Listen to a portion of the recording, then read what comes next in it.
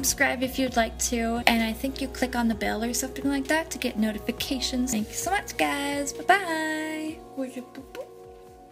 You're so pretty.